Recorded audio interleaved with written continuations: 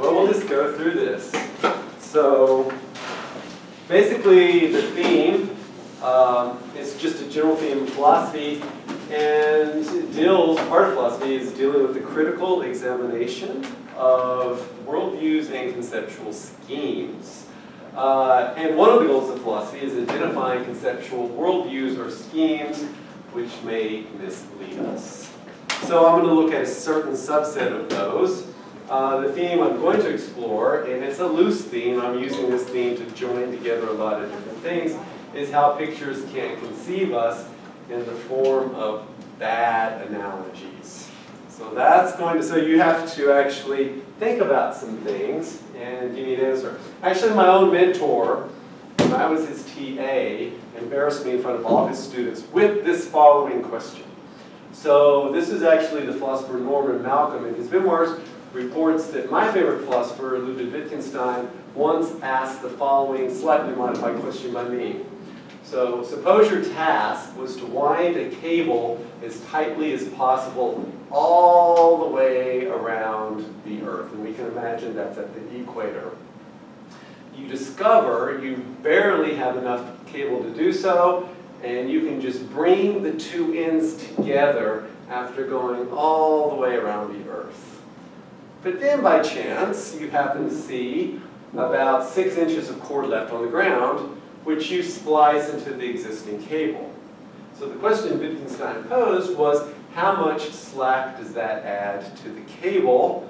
Or in other words, more specifically, what is the increase in the radius of the circular loop of the cable? So for my students, you already know I'm going to be talking about math. I don't apologize for that because philosophy can extend itself from just the English language to reasoning with symbolic, and clearly the language of mathematics is going to be something that we can use if available to us, and it's all baby mathematics, trust me. So here is some important information.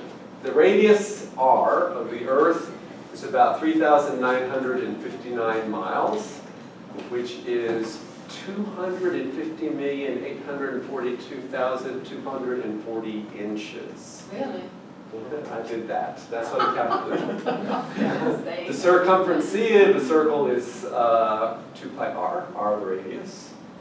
And this implies the length of our imaginary cable is about 1,576,088,277 inches. Furthermore, so just out of curiosity, how much slack does adding that six inches give us? None. It actually gets tighter when you try to splice it. Well, we're actually, we're going to imagine the, the splice is perfect. So we, we, we've actually added six inches to the original circumference. So reality is swept aside, so you're perfectly adding six inches. So none. I mean, it, it seems like it's going to be very little, to be quite honest with you. So any other thoughts about how much it would be? Would you just add six to that one billion five hundred seventy-six thousand? Yeah, wouldn't it just give us six inches of slack? Since it mates perfect if you had. So you just inches. all the way up, barely, barely, barely, and you add six more inches. So how much, how much are you going to be able to lift off the earth after that? Oh. No, no clue. I didn't have a clue either. It's, it's a circumference that's six, that's got a radius, six inches, measured with a radius that's six inches greater than the original one. Yes. Mm-hmm. Well, interesting. Interesting. I mean, this is what I actually thought. I said, well, the temptation is to compare the length of the new cable, six inches, compared to the total circumference, which is this huge number right here, 1.5 billion. And it turns out this, I did a little Google search, and just by curiosity, it turns out to be slightly less than the radius of a typical atom. And that's exactly what I said in the lecture. It's like, it's not going to add anything to the radius. Well, maybe, I mean, atomic measurements, but actually turns out to be wrong. Uh, that's a wrong picture. The radius increases by just under an inch. So six inches were, was too much. Not at all, or the size of the diameter of an atom is way too little. So this can be shown, and we're not going to do it this way, using the language and rules of algebra. And this is just a start, and I'm just going to start because that's not the way I'm going to do it. I'm going to use a picture. So our first, cir circumference is 2 pi r1. We add 6 inches to the circumference. So that's going to be 2 pi times the radius 2. So 2 pi r1 plus 6 then just replace C1 with 2 pi R1 plus 6 is equal to 2 pi R2. So 6 is equal to 2 pi R2 minus 2 pi R1. Factor out the 2 pi and solve for R2 minus R1. But that's not the way we're going to do it. We're going to do it by a picture because that's a misleading picture. And there actually happens to be a really interesting picture that allows you to reason through this. There's, trust me, there's a, there's a reason I'm doing all this. So I'm assuming that everyone in here knows what the graph of a line is through the origin. If you don't, uh, y is equal to m, where m is the slope and x is the x-axis variable. So what we're going to do is just compare two things. All I need to do is just reinterpret variables. y will be our c, our slope will be our 2 pi, and our r will be our x. So that gives me a line of slope 2 pi r, 2 pi rather, that goes through the origin. I have the picture for you, because this is due to Mr. Rene Descartes. We love to talk about him because of I think, therefore I am. But this picture of the world is his other contribution, which is a major contribution. Modern mathematicians would be quite lost without it. And this is it right here. So this line right here goes up 2 pi, which is about 6.28, and 1 unit. So that's the slope. Slope is the rise divided by the run. So the run is just 1. 2 pi divided by run. So we just go up to 6 inches, come over, find the intersection here, come down, and there we see it's just almost an increase of one inch. So this is the correct picture to look at it, and you can just ignore the abstract rules. So that's my first puzzle. The puzzle of the bad analogy of just comparing the total inches of increase with the total circumference length. So here's my next puzzle. It's not really a puzzle, it's just to think about. It. It's, there's going to be an interesting picture. Some of you, if you've been in my logic class, or maybe you, Cliff, I've talked about some of these. So, as ancient knowledge of the world grew, the question of the sphericity of the earth became a matter of intense interest. So, this is before people realized that the earth was actually spherical or round, if you want to call it that way. And there actually were arguments, clearly arguments that did not involve sailing around the earth or anything like that, both for and against a spherical earth. The one I want to talk about is the argument against the antipodes. So an antipode is, I always call it the upside down people, but it's people that would be on the exact opposite side of an earth if it were supposed to be spherical. And a 13th century Christian author, Lactantius, asked or made the following observation.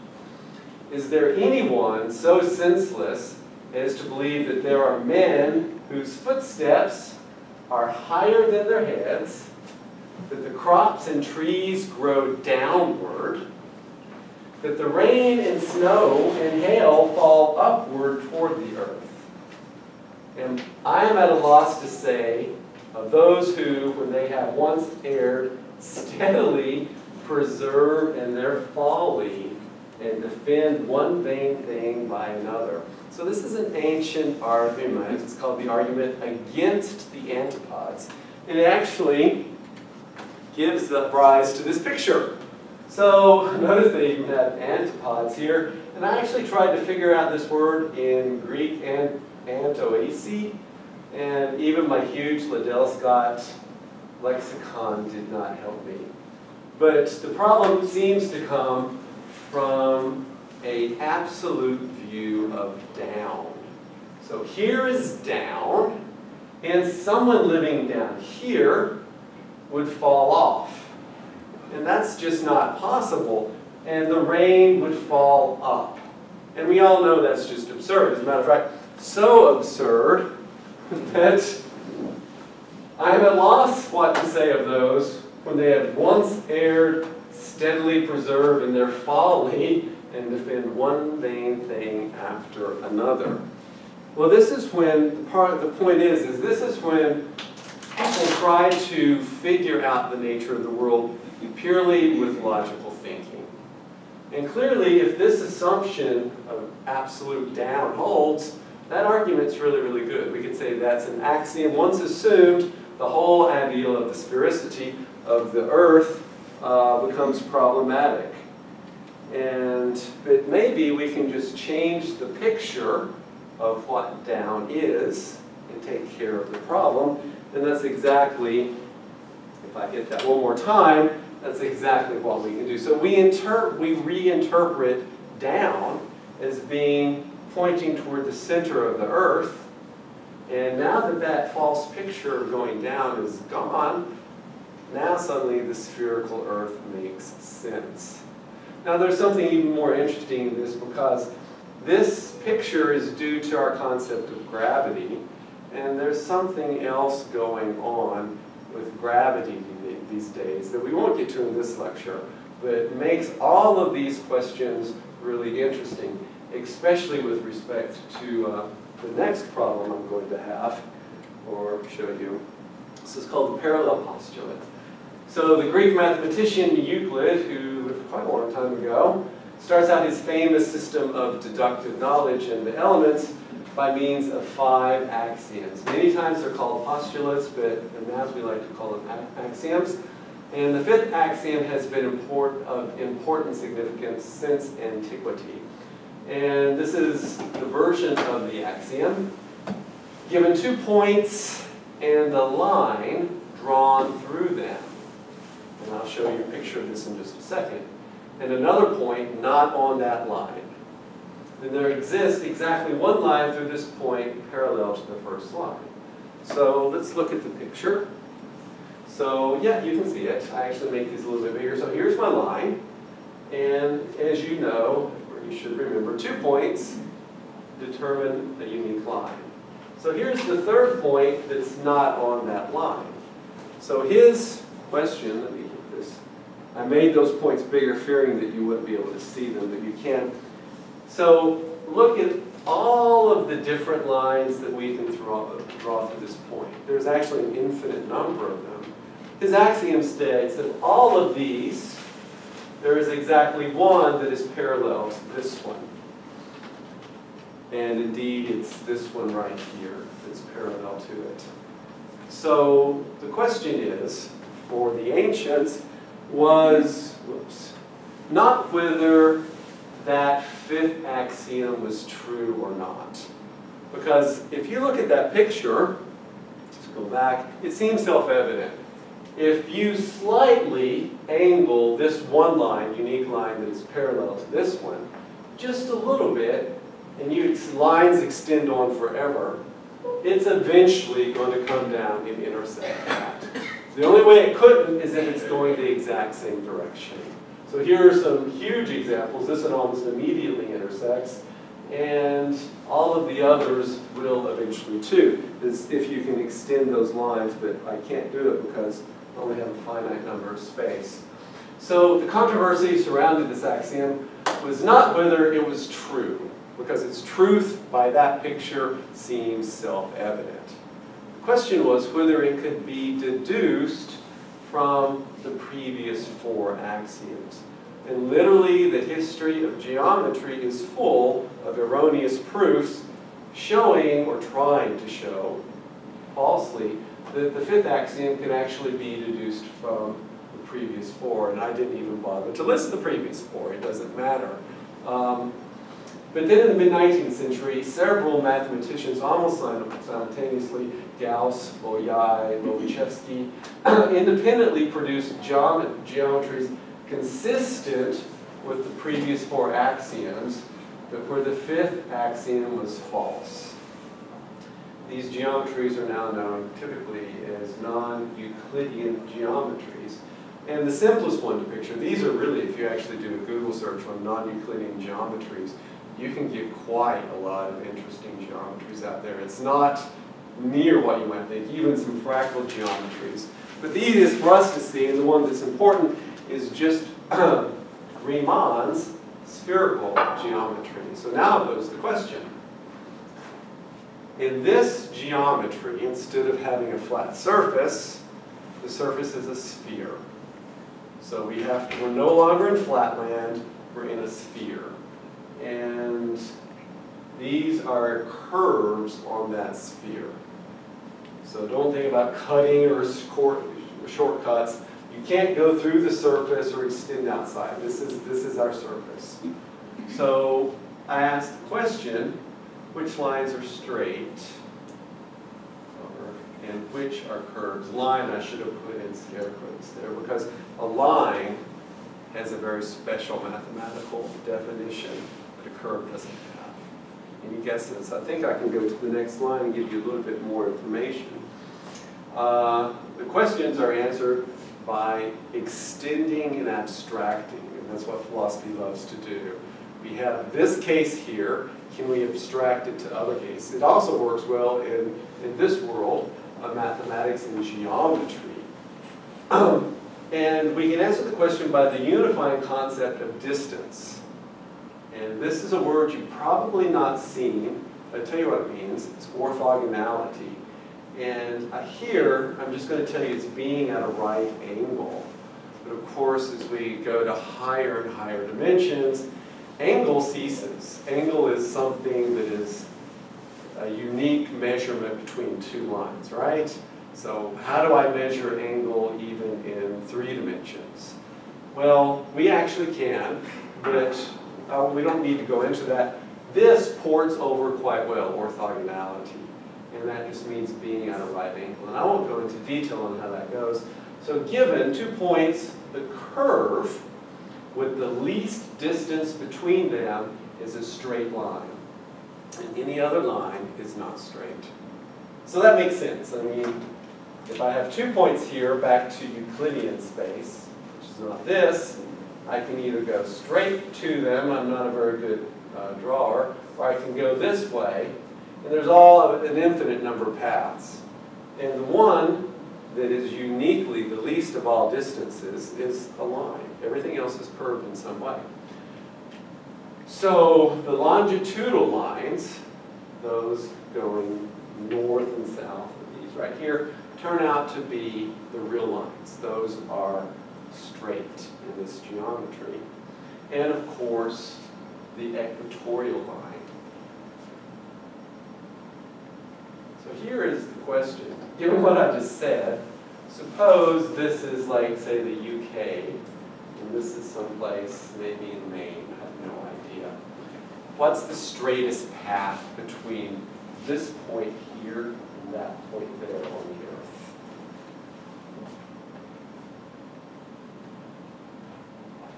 Sweet tunnel. No, you can't do that. Remember, we're, we're in spherical geometry, we can't go through it. You can imagine this is an impenetrable crystalline sphere. Go to the North Pole, Go to the North Pole. hang left. Hey, well, at least you're trying, at least you're thinking. I I like that. Because, you know, Dustin said, well, we got to go along a line. And I already told you, a line is by definition the shortest distance between two points. And if you also, I mean, I, I don't expect you to, this is a lot of information. Uh, these, I say, are not lines. Only the equator is a line. So this possibly cannot be the shortest distance between two points. It's a distance that ancient mariners like to travel because this goes due west, but it's not the shortest distance between here and here. To help you visualize that, and here you can see I try to reproduce it here. The real lines are called geodesics or great circles, and any great circle cuts the sphere exactly in half.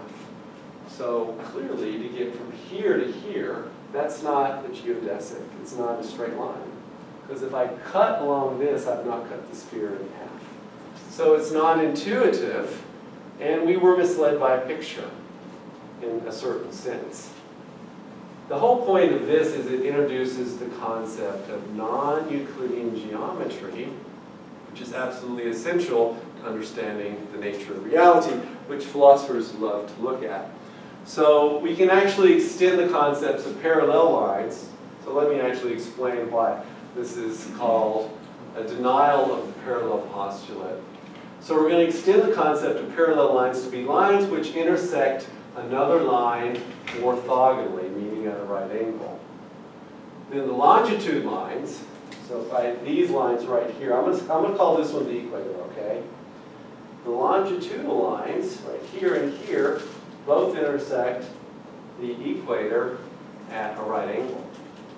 So that would mean these two lines are intersecting a third line parallel. And these two lines actually intersect at two points, here and down here at the antipode. So in this particular geometry, all parallel lines intersect at one point, which is interesting. Actually, at two points is what I just said. So that's the reason we say that's the denial of the fifth postulate. There is actually an infinite number of lines parallel to given other line. Um, so one of the reasons why, back to my theme, that that was seen to be impossible is this picture was stuck in our heads. But we had to extend and abstract that picture to a different context. And I can see why people seeing this picture was very resistant to actually accept the non-Euclidean geometries of Lobachevsky, Bolyai, and Riemann in the 19th century. But of course, the math usually takes care of a good argument. So here we're going to actually watch an eight-minute video. You know I like videos. And you'll see why I'm going this direction, hopefully. This is on PBS. I thought I was going to spend the night watching PBS. And I saw this, okay, I'm going to watch this. It is eight minutes long. And I think it's for people with ADD. Because he says it's short, and he's going to go slow, but he doesn't. So um, you'll Today's episode is about space, time, and the nature of reality. My name is Gabe, and this time it really is space time.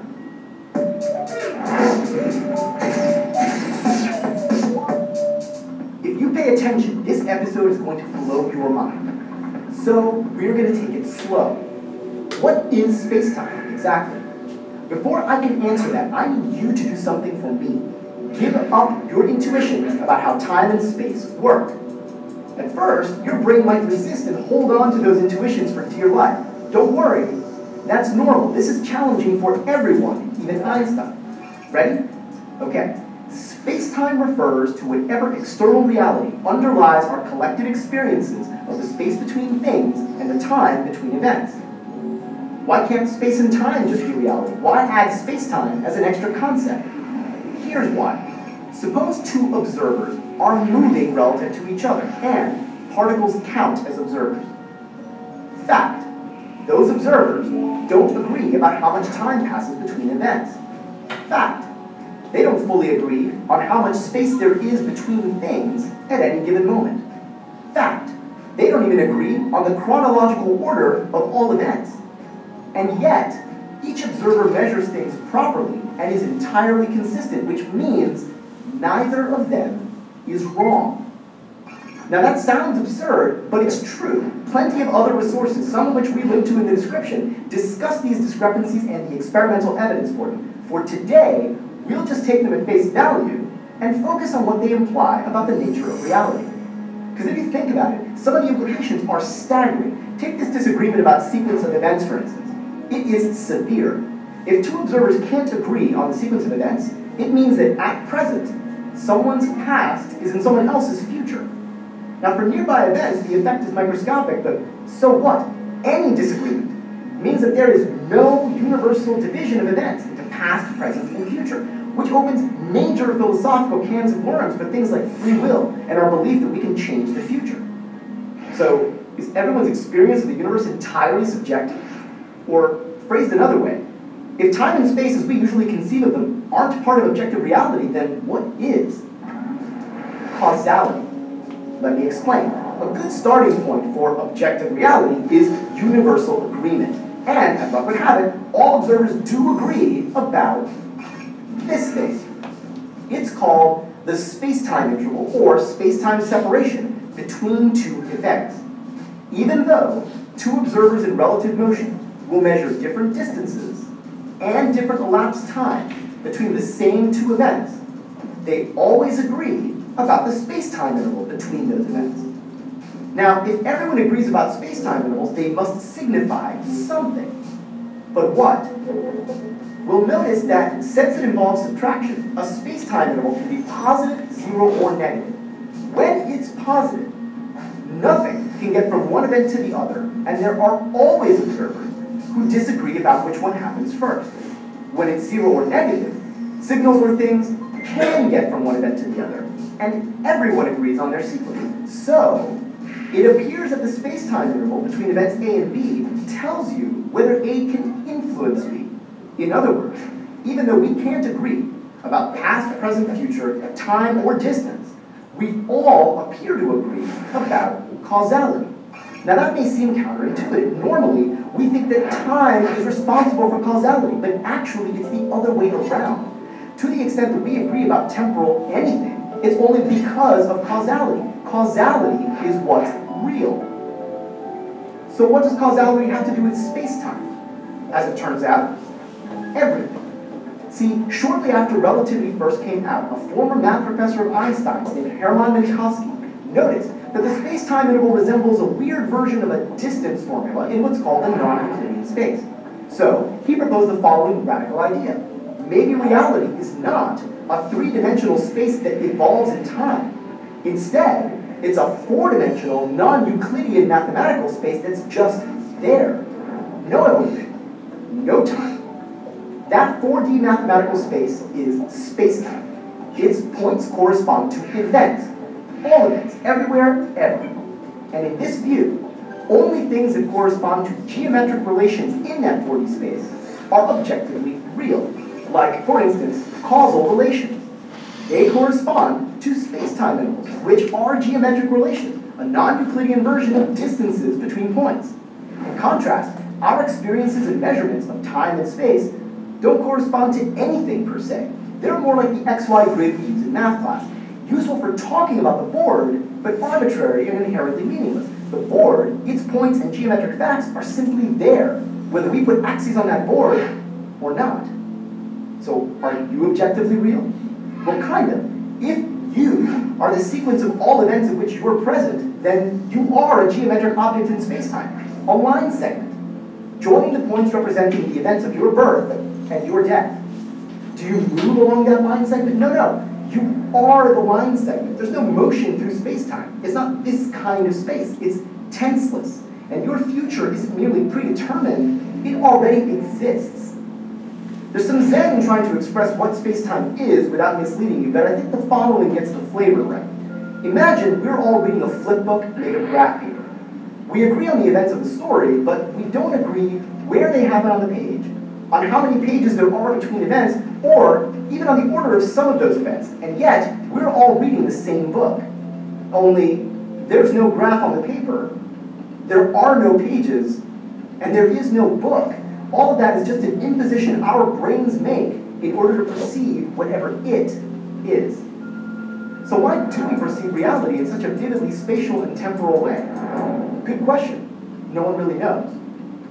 So have I told you all there is to know about spacetime? No, far from it. All of this has just been a loose introduction to what's called flat spacetime. Once general relativity enters the mix, we'll find that there are many possible spacetimes with different geometries, making it hard to ascertain which one this is. But we gotta crawl before we walk. We will get to that fun stuff eventually though, so subscribe. And as always, the comments are for your questions. I'll do my best to answer them at the next causally connected point of space-time. Last week we asked whether NASA could start a zombie apocalypse. Okay, we'll just. You guys, that's And he does actually The space-based zombie outbreak assumes that a more virulent organism would actually spread better. First of all, that assumption is unnecessary. It's enough for the bug to just be more harmful and harder to fight off with your space-depressed immune system. But second, as Nicholas Garrison pointed out, Okay, so that, you see what's going on. So subscribe there, you can see these. So that was really uh, quite a bit, right? Uh, now I have to figure out how to move to the next slide. Um, a lot of buzzwords there, clearly philosophically connected. It's talking about reality, the existence of free will, uh, that we do not move through time, that there is an external mathematical, mathematical way to see reality in which things are not temporal, which is really interesting. Um, if you want, if you're interested in this, you can do a Google search on BBC, you know, all of the BBC, everyone that's my student knows that, and do what time is it? And if you can't find it, I think I can give you a DVD. It goes into this in, in quite a bit more detail. Let's go on to the next slide. I'm going to try to explain some of this. Um, and tie it into what I was saying earlier. So that video introduces, introduces the concept of distance in non-Euclidean geometry. So in Euclidean geometry, distance is always determined by the square root of the sum of the coordinates squared. Let me give you two examples. When we're just down to one dimension, 10 is equal, we only have one coordinate, 10 is equal to the square root of 10 squared. Two dimensions. Here we go along 4 and up 3, and the distance is 5. That's probably the most well-known Pythagorean triple. And 5 is equal to the sum of 4 squared, which is 16, plus 3 squared, which is 9, that's 25. So that's the familiar cases in Euclidean geometry. But he actually discusses something that I correct, believe it or not. Um, Yeah, I noticed that. yeah. The space-time interval. he does this, I think, to make it simple. And he introduces this right here. The minus sign is the important part. Uh, this is a new distance formula. It has to do with non-Euclidean geometry called Lorentz geometry. And this is the distance formula. And it's this minus sign that he makes such a interesting uh, part about. And there's quite a bit to be said. Because you say, well, if the delta x squared, the change, in this is just down to one dimension. This is the spatial dimension, this is the temporal dimension. If the delta x squared is less than the, this quantity here, I have the square root of the negative. And you may have told square root of negatives don't exist, but they do. Uh, for other reasons, mathematicians, they abstracted the real numbers so that we could have solutions to all polynomial equations, so we have the complex numbers. But I'm not going to do that. I just want to point out this thing for the philosophers in here who are waiting for me to get to philosophy. The recognized authority, as a matter of fact, for the philosophers, Hilary Putnam, you all know, uh, from Harvard. Actually, I read this book because he recommended it. Uh, Sir uh, Archibald Wheeler is the well-known U.S. authority on gravitation. He has a, a book about this thick, and you really need to know quite a bit of math to understand gravity, gravity under the new Einsteinian view. Uh, basically writes a book called Space-Time Physics, which is an excellent introduction to just special relativity, what he was just talking about there in space-time. Because the whole point of that is, if you think about it, it has some major implications. If we have events A, B, and C, so in our frame of reference, I see event A happen first, then event B happen after A, and then event C. So A happens, then follows B, then follow, follows C. It's easy to construct another sequence of someone moving with respect where they actually see C first, then A, and then B. So just the whole concept of sequence of temporal events seems to be relative. His point in that video is there is a mathematical construct, Lorentzian geometry, in which everyone agrees. is objective. And it's the freaking space-time interval. It's something that has to be calculated, but everyone agrees. It becomes an invariant with respect to frame of reference, is how we say it. But this is what he actually says with respect to the minus sign. The, the, the person who was just on the video spoke, spoke about. The invariance of the space-time interval evidences the unity of space and time while also preserving in the formula's minus sign the distinction between the two. So in a certain sense, from this math, mathematical construct, we actually get ontology. In other words, the very existence between space and time is preserved by a mathematical formula and a minus sign that denotes the distance in non-Euclidean geometry, which I think is fascinating. I'm going to stop it there. I have 38 slides. Trust me, I was prepared to go way in depth on other things. Uh, what is my next slide? Yeah, so pictures which represent reality. I mean, I can go on or I can have stop and pause for questions. What do you want me to do? Entertained or you want to throw things at me that's not Rotten Tomatoes? I was say, for if it's just questions to throw at you, That makes it much less interesting. Oh. You don't have any Rotten Tomatoes there, do you? Let's just go on then if you don't have any. I want to order you, Cliff. You always do. Well, Okay. not in this case. Okay. Well, this, I'm just going to extend it really fast, and we'll be done. Seriously, I'm going to get through these 38 slides if it kills me, okay? So I want to deal with pictures that mirror reality. So I got these sketches, artist sketches of, you know, wanted people. And the view here is, you know, this mirrors something that is real. And we kind of have that view that a picture mirrors reality. And believe it or not, not too bad. Uh, I can definitely see a resemblance there. Actually, again, well, take off this cap. That kind of looks the same. And you'll laugh at this last one. They get her, they get her eyes right on, right? So here we have this concept of pictures that mirror reality.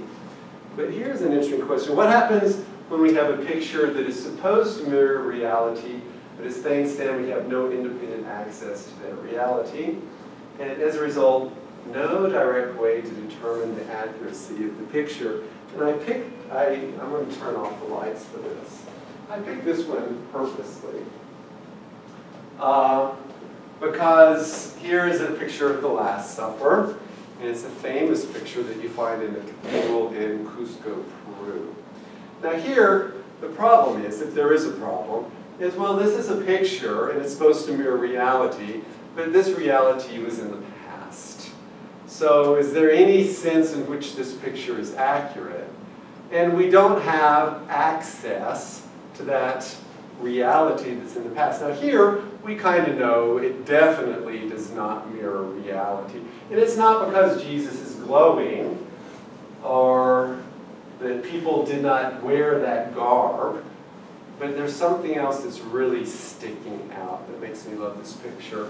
Is it the table? Because like the angle of the table goes down and makes everything look 2D in a sense. Yeah, well, I mean, it's definitely past, they're, they're kind of getting into that where they have perspective. This is a little bit perspectival. That, what they're eating right there. Anyone know what that is? I don't know, I was looking at that too. Is that like It's a queet, it's guinea pig. So this was painted by Peruvian, Peruvians who actually assumed that what people ate at the time of Jesus is what they ate. And everyone eats guinea pig, so they're going to have big guinea pig meat too. And that's a famous picture in one of the cathedrals in Cusco. But this concept, I'm going somewhere with this, the pictures mirror reality, but we don't have access to that independent reality to check. Reminds me of a recent article I read in Time Magazine talking about remote viewing. And this is just what I pictured did from uh, Wikipedia, is the practice of seeking impressions about a distant or unseen target using subjective means, such as extrasensory perception. It was popularized in the 1990s when the US government spent 20 million, starting in 1975, in an attempt to use this remote viewing to somehow help in our spy and our remote intelligence. But again, this is a problem, right? The remote viewer says they see X and they might draw a picture or describe it, but we don't have an independent picture of what they're describing to say that they're remotely accurate or not. So this is an interesting problem. When you take away the ability to correspond with this is what is real, but I can't see it, it might actually lead to this type of bad reasoning. 20, $20 million back in the 70s was more than $20 million not, and it was probably furthered again and again and again because people were saying this is a picture of what's going on, and they didn't have independent access. It seemed likely, etc. I just wanted to throw that in. And then there's this one. Everyone has seen this picture if you're a student of mine, I believe. And the question in here is, it gives rise to this view that our picture and our experience of the world somehow accesses an independent reality. But we can't access it because all we can see is what we see, right? We can't get behind that. So this leads to, in this case, what can you do to subtract out what you're seeing? You, you, you, you believe that really these things aren't moving, and in my classes, we've, we've discussed ways where we can actually show that it's not due to the computer, that it's actually due to the way we see it. But we can't get beyond this reality. So that leads to an interesting, historically significant concept in philosophy, that there is the world that we perceive, and there's the world that lies behind it. We have no access to that world that lies behind it. The world we perceive is what is real, the noumena and the phenomena. And finally, one last question here uh, that I'm going to pose, and I'm actually want to get through all 38 slides. This is supposed to be a picture, notice the structure here, of, of silicon atoms. So I'm going to pose to you here. These could never be seen by the eyes. Are you seeing a picture of silicon atoms or a picture of the laws of physics? So that's the question. Well, that's what they really, really look like. We have no independent means to see what silicon atoms look like. And we know they're not blue. That's a concept that doesn't apply to an atom. And how do we know why do they look this way, just like our, our laws of physics say they should? Well, it might very well be that we're programming the laws of physics into the very instrument that detects them. And if it gives us any other picture, we tweak it until we get this one. So this is an interesting question. Is this a picture of reality? Which leads to the other question, is our mathematical picture of reality correct? But thankfully in science we have ways to test that and to uh, see, sorry, the pictures is gone now, and to answer questions as to whether this is a correct picture, but in that case the picture's correctness is determined by a different type of. Done. Okay, any questions? You have one, David? No? Okay, so I'm just next. thinking what the, what, what the other criteria is, maybe an object's behavior. an object's behavior is predicted by the laws of physics. Yeah, that's that we, we can actually, the time element, we can run forward and we can see what's going to happen. That's, that's what's really cool. And if you're interested, my plan is next semester, if you're curious about the level and this concept of infinity, I'm going to do an examination on the continuum hypothesis. So it'll make you feel smart when you go to it, right? You can talk about things and, and use cool symbols to impress your friends. But that's, that's the plan for next lecture. So, if no questions, thank you for coming. Um, Before you leave, I'd like to make a shameless plug. Yeah, for a, a discussion that I'm gonna have tomorrow at around the same time downstairs in one sixteen. Information, it's on religion, questions and facts about world religion. And, uh, I, And I will be there. So Yeah. if you want more extra credit, you can, you can attend. Flyer on the door. yeah, flyer There's a the flyer door on the door. Highly recommended in this time of trouble. Mission fee is very modest. It's nothing. Bring the hardest questions you have about religion? We're going to test the hardest, the hardest questions you have about religion. Right. So if you're my students, which is everyone in here, because the other student left, make sure you sign this if you want extra. Put down who you are, what class, what class you're in.